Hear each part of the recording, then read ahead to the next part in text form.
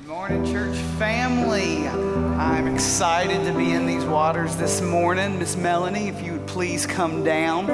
Got to meet Miss Melody this morning, and she is excited to profess um, Jesus as Lord and just walk in obedience this morning in baptism. So, church, if you do not mind standing with me so that we can celebrate together of God's work in Miss Melanie Raymond's life. So, Miss Melanie, who is your Lord?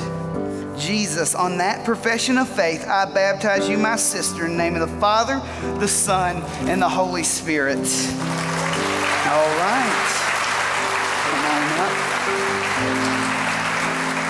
Mr. Logan Talley is here. Um, and if you don't mind, remain standing so that we can celebrate with him as well. Mr. Logan Talley and his family have become members recently, and just getting to talk with him, learning about his salvation, and just hasn't walked in obedience of baptism. So he was ready to get in these waters. So, Mr. Logan, who's the Lord of your life?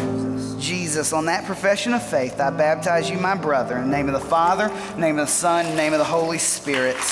Amen.